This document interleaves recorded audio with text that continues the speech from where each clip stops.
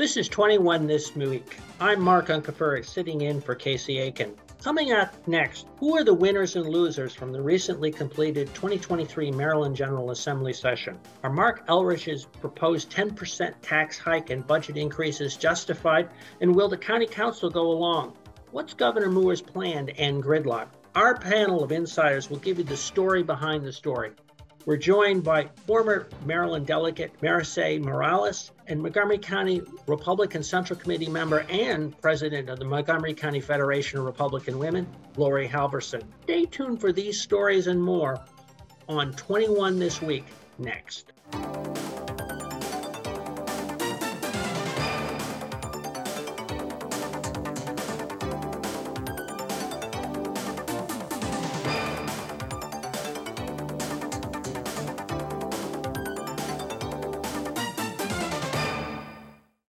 Welcome back to 21 This Week. In the last few weeks, the 2023 legislature, uh, Maryland legislature adjourned. This was the first General Assembly for Governor Wes Moore. And it, this wouldn't be a talking head show if we didn't try and handicap the politics and focus on the winners and losers.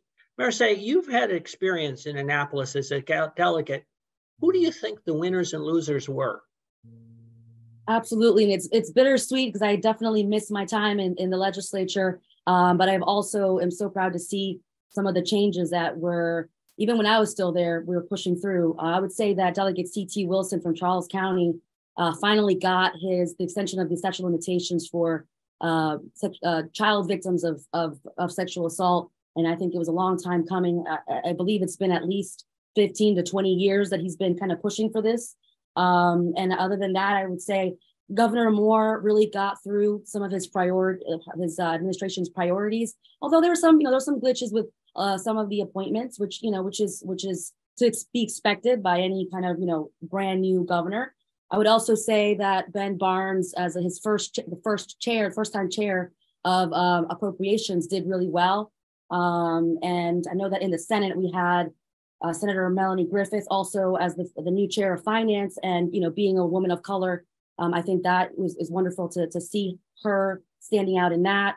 And lastly, I would say uh, Senator Feldman in the brand new committee dealing with education and environment. So it's just been really great to see, um, you know, I would say uh, in general, I think all of Marylanders are winners just seeing the uh, progressive uh, legislation that's that's been passed.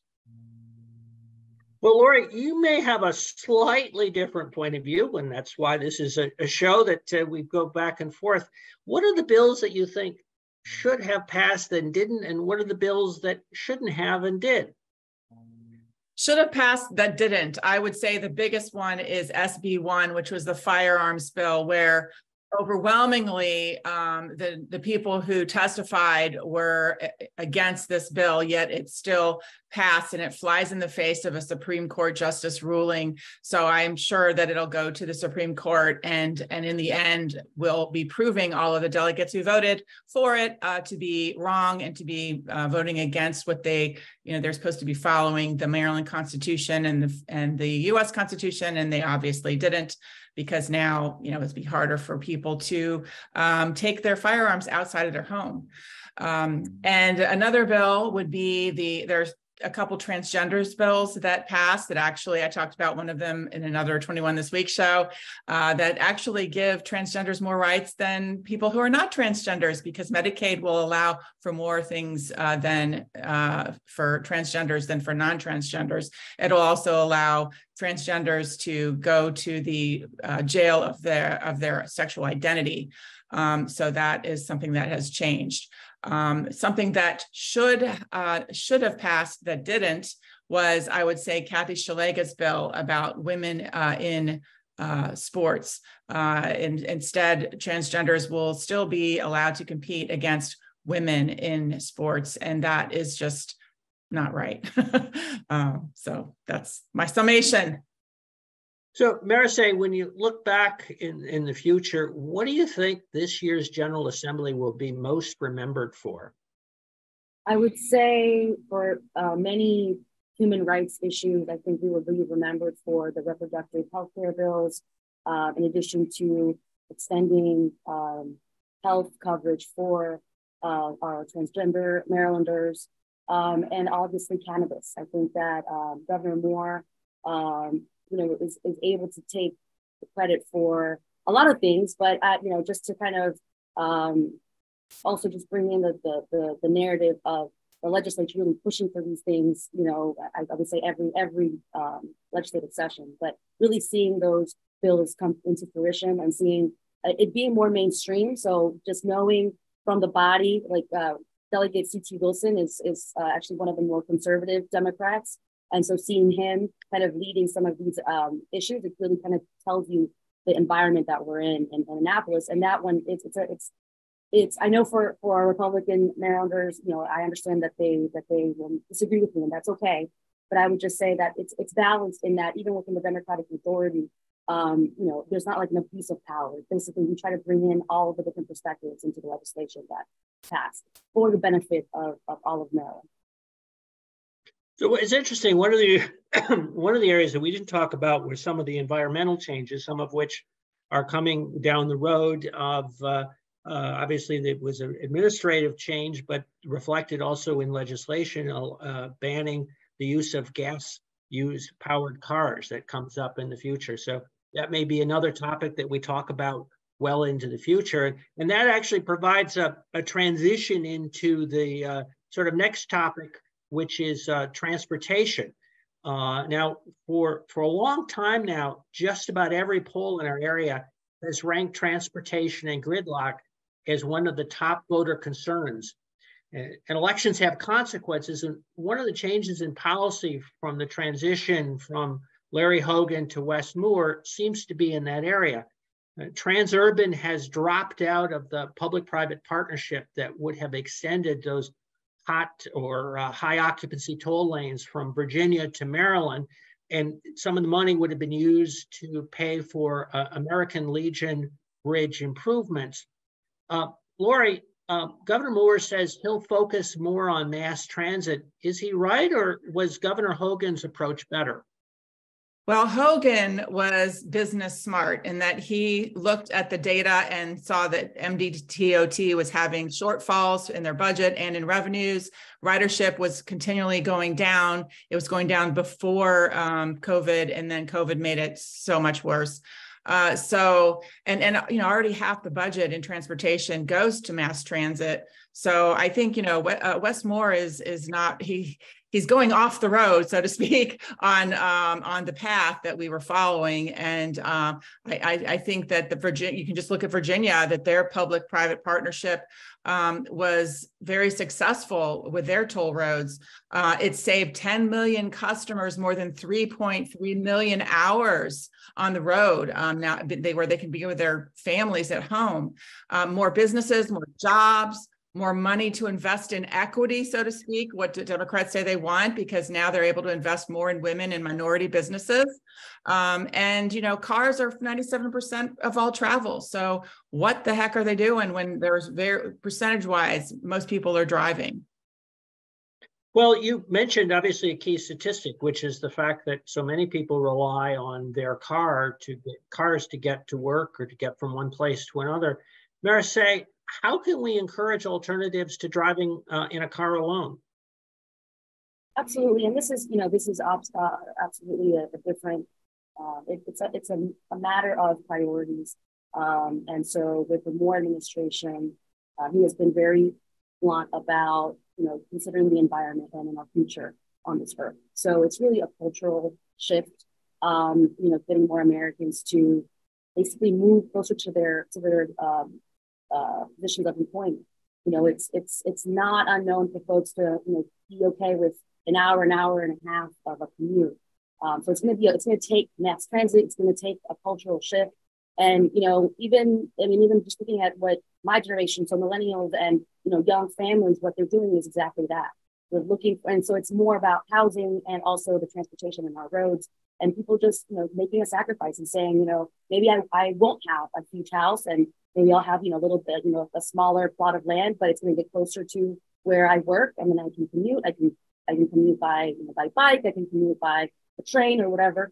Um, so I, I think it's really going to take, um, you know, a culture shift, but the first, the, the key in seeing the shift in our culture is seeing what our elected officials are actually doing and prioritizing. So it's definitely a, a change from the Hogan administration, and you know, and that and that's to be expected. It's two different, two different parties, two different sets of of, of uh, priorities there. Well, Laurie, uh, one of the changes that's being suggested uh, by the uh, Moore administration is MARC train expansion.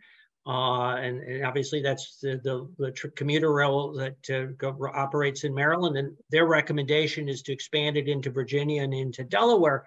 That said, Laurie, public transportation ridership remains a long way from returning to pre-COVID levels. Eh, for example, with MARC Train, uh, it's still down 75%, less than 10,000 uh, daily riders. Is this a permanent change or can we expect a, a return to uh, more public transit use? Yeah, the Democrats need to get with the times because um, they keep thinking we need mass transit all the time. But look what's happening with technology and look what's happening with our cultural change, where I think 40% of the uh, build uh, of the buildings are being used in New York City right now um, you know, there's people are not going to locations as much to work now. They're working from home and they can pick wherever they want to live. We we now have to compete with other states that aren't used to having a lot of people, um, and so things have changed. And Democrats aren't um, um are not in line with what's really happening. Imagine a, a, where old people who um, have trouble driving can have a car pick them up and drive them without a person driving. They won't have to drive they don't need, you know, it, it that can happen where door to door service with energy efficient cars, small cars can drive wherever we want to go in a short amount of time. Things like that can happen, and we can stay away from um, uh, traffic in, uh, accidents by technology that's that exists today. So, you know, that's what needs. I think we need to just start changing our thinking a little bit, uh, especially the Democrats. Well, when we come back from this short break, will Marc Elrich get his tax hike? Well, welcome back. County Executive Elrich has proposed a 10% property tax increase. Now, this would pay for more county support for the public schools and has the fight has pitted homeowners against government employee unions, which have very uh, actively rallied in support of the increase so far the council has been caught in the middle and it's really not clear whether or not they're going to go along. Mercedes, what's your take? Will the council go along with the increase and, and should they? That is the million dollar question, right? Um, you know, I think at this point, looking at our priorities in the county and just seeing, uh, you know, just the hit that our school and our school teachers have, have taken uh, post pandemic times, I think it's important to look at, you know, if we want to have quality quality education, then we really need to pay for what we're looking for. And just looking at uh, looking at it from a millennial's perspective, I can tell you when I was in law school, all, most of my class members and the people that I gravitated towards had started their careers as teachers, uh, but just would not really, you know, just wasn't going to be sustainable in the long run. So just looking at what this, uh, what Marc Elrich's um, and and and um, um, uh, Medellino um, I'm thinking I'm just blanking on his name, even though he's like a close friend of mine. What they're really talking about is, you know, what the county needs to come up with in order for us to push through for the blueprint. And some of the some of the issues are really starting salaries for our educators, and we're looking at an increase from sixty thousand to seventy five thousand. Um, and you know, it just if you think about all the student debt, because educators, I mean, they are you know our sharp and our brightest um, individuals that we would like to you know recruit. And you're looking at you know graduate school um, student debt, undergrad student debt, and all of this in the continuing education that is needed. And, and also not to mention the, the diverse needs of our county. So I think that, um, you know, just looking at, for an example, a homeowner who owns a $600,000 home would see uh, a $600 tax increase. So we're going from 98, uh, 98 cents to the $100 that going to then, uh, I think it's a dollar and 28 for all, for the $100 of, you know, of your uh, the footage in your in your home. So I think it's something that we can afford and something that as a collective uh, we should be looking at an investment for our future and what we want uh, the county to you know to be able to produce in terms of the leaders, the engineers, the educators of tomorrow. Laurie, County Executive Elrich says the property uh, owners should support the increase because otherwise their property values may go down. And his theory is that uh, MoCo real estate values depends on the perceived value of the Montgomery County Public Schools. And if that that perceived value goes away, values will go down. So what do you think of that as an argument? Well, look, we, we, this is a 10% increase on top of the increases that we already got in our property values, which, you know, my house went way up in the property value. Um, that is much big. It's at this, in these times, it's it's unthinkable to do something like that. And the the problem is the blueprint passed without a way to pay for it. Democrats screwed up again, and now our county is struggling to try to meet the needs. And oh, what, the, what are they trying to do? They're trying to add more teachers and add more pay. That's what Marc Elrich is saying. We got to pay teachers more. Yeah, that's true. Teachers deserve to be paid a lot of money.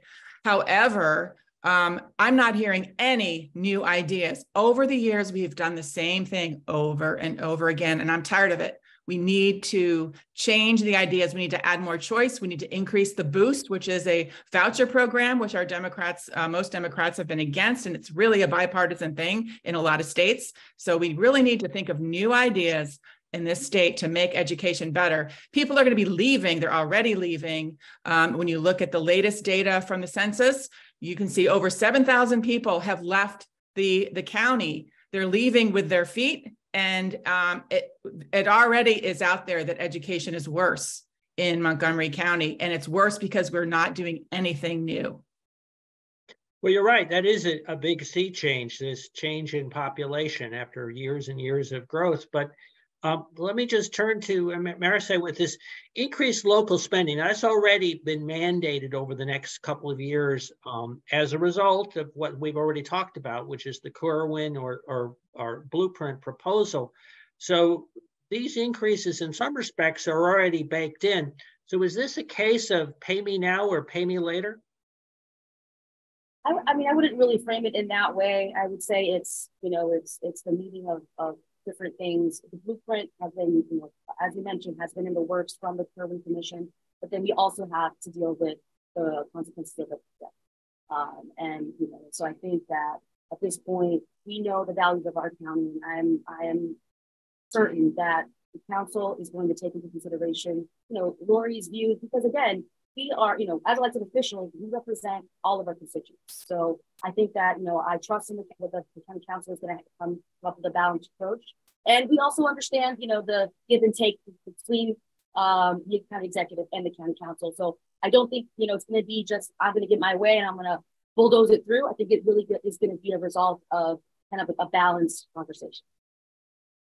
So we will wait to see. There's a certain amount of drama on that. There's a schedule that goes on in May uh, as, as we wrap up. Uh, so we'll see what, what the council ends up coming up with on that. So one of the unique aspects of Maryland politics is that political central party political central committees get to fill legislative vacancies. And uh, the Montgomery County Democratic Central Committee has filled four so far this year. and it has another one in the works uh, for uh, Kumar Barve, who's been uh, is being nominated for another appointment. Maricé, is this the right way to fill these legislative vacancies, or should the voters decide in a special election? You know, this is really a fascinating question, and that's something that um, I never was really in favor of. This kind of like, you know, just small bodies um, electing, you know, the um, individuals to fulfill these, you know, open seats. Um, I think it's going to take, you know, it's going to take some legislative changes, et cetera. And we have seen some leaders uh, come up with that. Um, you know, and so I think at this point, I think most most uh, voting individuals would probably agree with that. You know, I think that it is not a very democratic process, and even members of the Central Committee themselves, you know, have chosen to recuse themselves. They, they do different things to kind of neutralize uh, neutralize it. Like we saw Mark uh, Robles, who was also one of the candidates that ran for the District 39 seat, and he's a current member of the central committee. Um, and he took it upon himself to recuse himself. And, you know, I mean, I think nobody was asking him to do it. He just did it. Uh, he thought it was the right thing to do. But also, you know, I've also uh, fallen on my sword and, you know, i ultimately did that get him elected? It didn't. So it's like, you know, at the end of the day, the rules, I didn't write the rules. Know, like, I think it's time to modernize the rules. So, Laurie, you're you've been a bystander on this. Uh, you're on your party central committee, but because Republicans have no legislative seats, you you have no prospects of filling any vacancies, at least for the next four years. So, um, what do you think? Are the current rules right, or should there be special elections? Well, there are 25 states that have special elections, and uh, only nine states are like our state, where the governor makes the decision after the um, after the central committee makes a um, recommendation. I I really think we should go to special elections uh, after researching through this. I think that it um, I, I, our county is not it's not just a small little county where everyone's the same. Every portion of the county is very different up county versus down county versus chevy chase which is close to dc versus the ag reserve. Everything is different. So how could a um, how could a central committee vote for one specific district when they don't really know the needs of that district? It's better for the people in that district to vote for that for the person they want to win. But you you also want to make sure that they're represented during the session. Um, and so there's maybe maybe there's a hybrid form or maybe we should just figure out how to do elections where we could quickly get someone elected but fairly elected. So um, so i think something needs to change. I certainly wouldn't want wouldn't want the responsibility of voting for a person in a district uh, like in the ag reserve because i'm not as familiar with the needs of the ag reserve as i should be well, thank you for that. And, and now uh, we will return uh, for uh, after a short break with parting shots. Welcome back. And now for parting shots, Maricé, you start. I would just say that um, I'm very pleased to see some of the um, most recent appointees, um, or I would say governor uh, recommendations for um, Senate. We know that District 16, Ariana Kelly, she's our, our, our senator there um, among others, uh, Bernice Murphy, North. And I think there's something to be said about, um, you know, kind of um, keeping the the, um, the, the team structure in the districts because if, when you look at how efficient our legislature is, we did pass 800 about 800 bills, and when you don't have that team structure, or when there's a little bit of uh, dissonance in the priorities of that district, you do take a little bit longer, and you know, and so I, I think that there's something to be said just going off of the last conversation uh, talking about the uh, the new District 39 uh, vacancy that was filled. Laurie, you're up. Yes, prom season's coming up and graduations and going to the beach with the you know kids having fun. But just want to uh, just a word of caution, please, parents and grandparents, have discussions with your grandchildren and your kids uh, who are going to be going to these events and talk to them about drugs. Uh, it seems our kids are getting the messages about drinking and driving, but not about um, drugs, you know, like smoking pot and, and driving and how dangerous that can be. So please talk to your, your kids and, and keep them safe through this, this fun time in their lives. Yes, you're right, Laurie. That certainly would want to avoid a, a tragedy and, a, and a, a, what would otherwise be a, celebratory uh, time. Thank you for tuning in each week for my MC Media and Montgomery County's hardest hitting talk show, 21 this week.